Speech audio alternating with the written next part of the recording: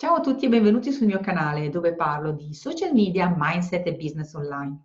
Quali sono gli strumenti che abbiamo a nostra disposizione per comunicare online in maniera chiara, veloce e soprattutto efficace? Ci basterà davvero molto poco. Se la comunicazione online è un argomento che ti interessa, continua pure a guardare questo video.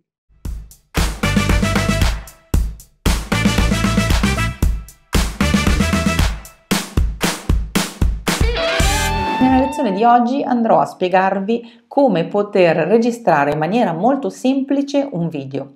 Il tool che andrò a utilizzare si chiama Loom, L-O-O-M, ed è esattamente quello che sto utilizzando io in questo momento per la registrazione di questa lezione. Per poter utilizzare mi basterà andare sul sito loom.com, come scritto qua sopra, e creare un nuovo account. Loom funziona sia per Mac che per Windows e anche per sistemi iOS, cioè per il sistema operativo di Apple. Cosa devo fare? Prima di tutto devo andare a crearmi un account. Per poterlo fare devo andare a cliccare su uno di questi due tasti blu, o qui o qui. Clicco sopra e mi si apre una nuova schermata. Ho diverse possibilità io posso loggarmi utilizzando un account Google, un account Slack oppure inserire un mio indirizzo mail.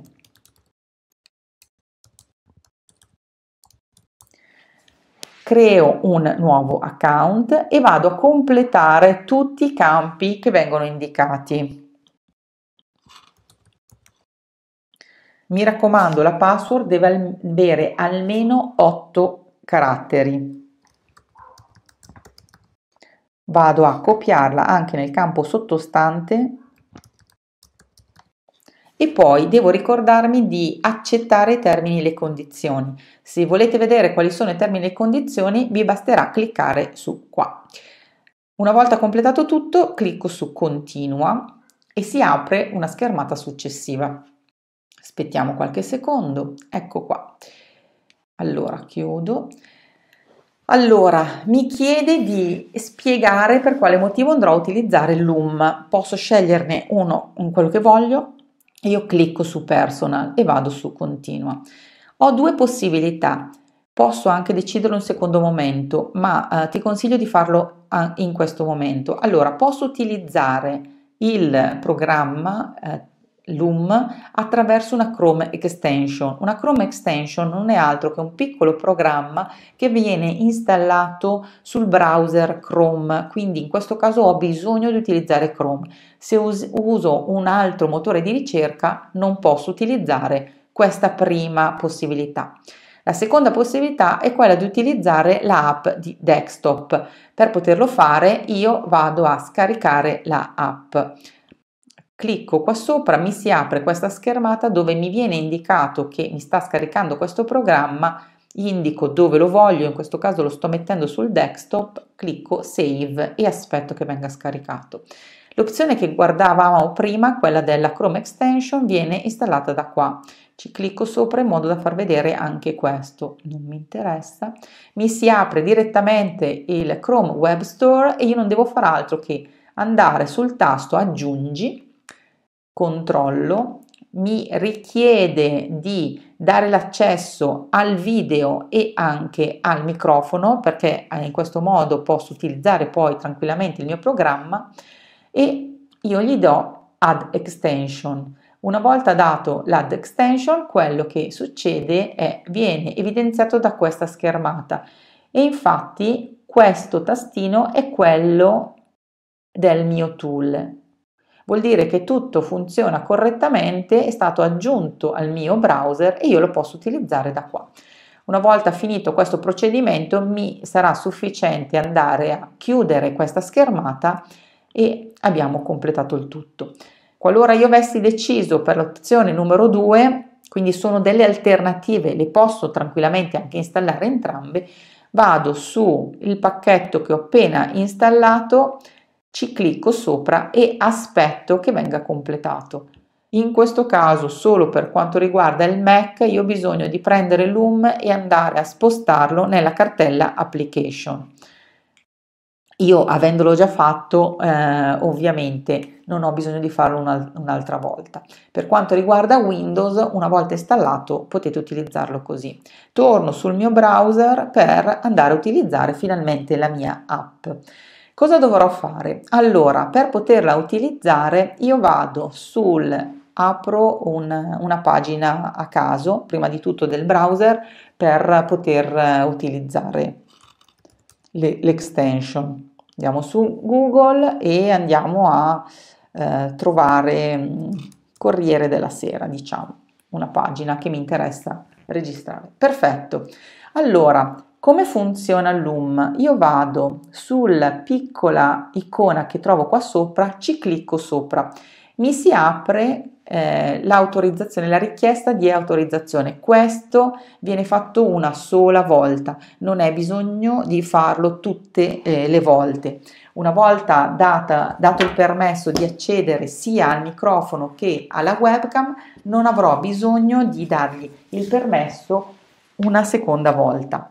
Una volta fatto questo, che cosa succede? Io posso decidere di eh, farlo direttamente in questo momento, di accedere, dare l'accesso al microfono e alla camera, quindi permetto, e è tutto fatto.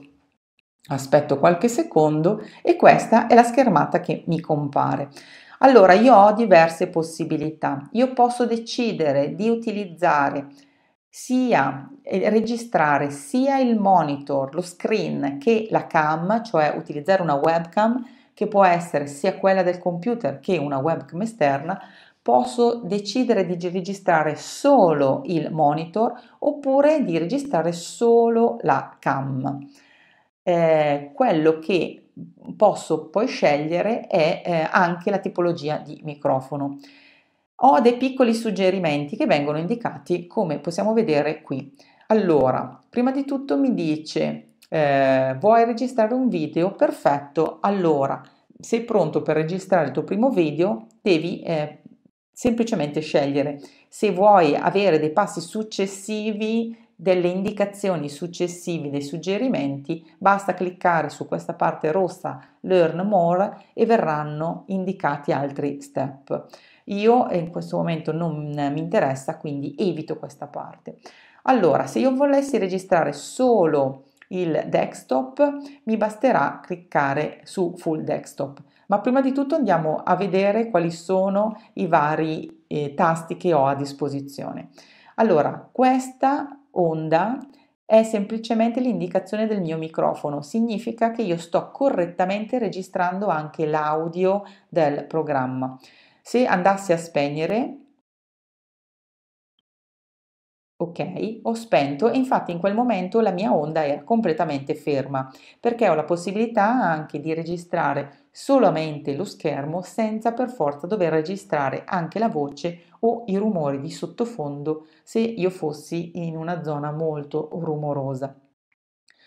Per poter accedere e iniziare ad utilizzarlo, adesso in questo momento vado a registrare solo lo screen, questo, Vado quindi a cliccare tranquillamente, passare da uno all'altro per poter dare l'accesso. Io clicco su Show Advanced Option per andare a selezionare sia la tipologia di microfono che la tipologia di camera che voglio utilizzare. Allora, prima di tutto vado a selezionare Screen più Cam, in questo caso qui, aspetto qualche secondo ed ecco che compare, ciao a tutti, la mia immagine qui. Io andando a cliccare sull'immagine e poi spostandola posso decidere esattamente la posizione della eh, mia immagine. Oltre a questo, utilizzando i tasti qua sotto, posso anche scegliere la dimensione dell'immagine stessa. Questa è la parte più piccola, qua diventa leggermente più grande e poi qui diventa effettivamente grandissima io lo posso spostare, vado a rimpicciolirmi e a rimettermi nell'angolo come prima qui sotto. Se voglio selezionare la tipologia di cam, la, uh, source, la source che io vado a scegliere, quindi da qua, dove prendere il segnale, mi basterà andare in questa tab, cliccare sulla freccetta verso il basso e andare a, a scegliere tra le opzioni che vengono in automatico rilevate dal programma. La stessa cosa posso fare anche nel caso io avessi più microfoni a disposizione. Io consiglio sempre di utilizzare, anche se non un microfono professionale, va benissimo anche le cuffie del cellulare con il plugin tranquillamente. Ritorno su screen e qui ho la possibilità di scegliere tra tutto il desktop oppure solo la tab che visualizzo in questo momento. Se seleziono solo tab è questa, quella che è attiva adesso, piuttosto che full desktop, se scelgo full desktop e inizio a registrare, il programma mi chiederà di selezionare, come in questo caso, che cosa voglio registrare, cioè tutto questo o solo l'application Windows. Applico la mia selezione, vado sotto su Share e partirà la registrazione. Parte un countdown che mi permetterà di capire quando effettivamente la registrazione è attiva. I tasti che io vedo qua sotto sono quelli che mi permettono di mh, mm, capire se voglio mettere in pausa la mia registrazione utilizzando il classico tasto della pausa, decidere di non andare avanti e addirittura di cancellare tutto dove c'è la X oppure di essere soddisfatta di quello che è successo e quindi il check e vorrà dire che la mia registrazione è andata a buon fine quando ci si iscrive per la prima volta si ha a disposizione 14 giorni di prova per utilizzare il programma con delle funzionalità aggiuntive, quelle che sono poi superati 14 giorni a pagamento. Io utilizzo solo la versione free, eh, che è dal mio punto di vista più che sufficiente date comunque un'occhiata se vi interessano delle informazioni in più. Una volta terminata la mia registrazione non dovrò far altro che cliccare sul verde, come ho detto prima, finisce e quello che succede è che mi dice ovviamente felicità che ho registrato il mio primo video, let's go, andiamo a vedere quello che succede. Mi si apre questa nuova schermata che mi dice che mi permetterà, questo succede solo appunto nella versione ehm, con delle funzionalità in più, later, posso andare a modificare anche il nome, il titolo della mia registrazione. Se il video non è particolarmente lungo sarà subito a disposizione. Qualora invece il video fosse di una durata superiore, ci vorrà qualche minuto per renderlo a disposizione perché deve essere prima processato. Una volta pronto il mio video, quello che posso fare è scaricarlo attraverso questo tasto, andare a duplicarlo qualora volessi fare delle modifiche oppure cestinarlo o anche addirittura condividerlo. Per condividerlo è davvero molto semplice, posso utilizzare questo tasto oppure andare a copiare il link. Il link non è altro che l'URL che mi porta direttamente a questo video. Se io copio il link e mi basta cliccare qua sopra, mi dice infatti che è copiato all'interno dei miei appunti, poi posso andare ad inserirlo all'interno di una mail, di un messaggio di testo o qualsiasi altro strumento di condivisione. Non vado a mostrare eh, queste altre possibilità perché sono quelle che sono a disposizione solo nel caso di un uh, account a pagamento. Ehm, se volete procedere con un account a pagamento, poi in una fase successiva potete andare anche ad utilizzare questi strumenti che vi permettono di eh, andare ad editare, a fare delle piccole modifiche sul vostro video mh, mm, se ci fossero degli errori, quindi a eh, cancellarne una parte, a tagliarla e poi a ricostruirlo. Detto questo, questo è lo strumento che volevo mostrarvi oggi, è Loom è davvero uno strumento molto prezioso e davvero, come avete visto, molto facile da utilizzare. Ricordatevi sempre di andare a togliere le notifiche prima di iniziare a registrare il vostro schermo, le possibilità che avete poi per utilizzarlo eh, come strumento è solo legato alla vostra fantasia. Ricordatevi soprattutto in questo momento che utilizzare anche la vostra immagine può essere molto utile perché quando le persone non sono a contatto diretto con voi, riuscire a vedere anche la vostra espressione sicuramente trasmette molto di più che solo lo schermo.